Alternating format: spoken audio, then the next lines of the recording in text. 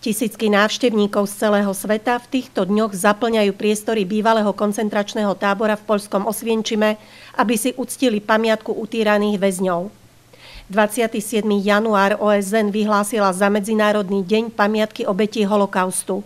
V poľskom Osvienčime fašistický režim poslal na smrť počas 5 rokov viac ako milión ľudí, židov, rómov, homosexuálov i sovietských vojnových zajadcov či ľudí z protifašistického odboja. Pre slovenských židov sa holokaust začal vyhlásením Prvej Slovenskej republiky, tzv. slovenského štátu. Vedenie štátu od svojho vzniku otvorene vystupovalo proti Židom. Títo ľudia nesmeli navštevovať stredné ani vysoké školy a nesmeli vykonávať právnické či lekárske povolanie. Podľa ďalších nariadení museli odovzdať svoje rádiopríjimače, športový výstroj, kožušiny, šperky a ďalšie cennosti. Následne začala arizácia podnikov, obchodov a poľnohospodárskej pôdy. Od septembra roku 1941 musel každý slovenský žid nosiť žltú hviezdu. Tragédiu židov žijúcich na Slovensku spečatil hlavne ústavný zákon, ktorý legalizoval už začaté deportácie. Holokaust vyvrcholil v marci 1942, kedy odišiel prvý transport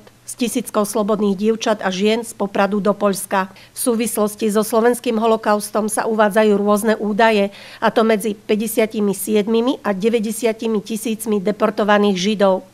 Slovenský štát prežilo iba okolo 18 tisíc z nich. Dnes žijúci svetkovia holokaustu reprezentujú len 1% predvojnovej židovskej populácie Slovenska.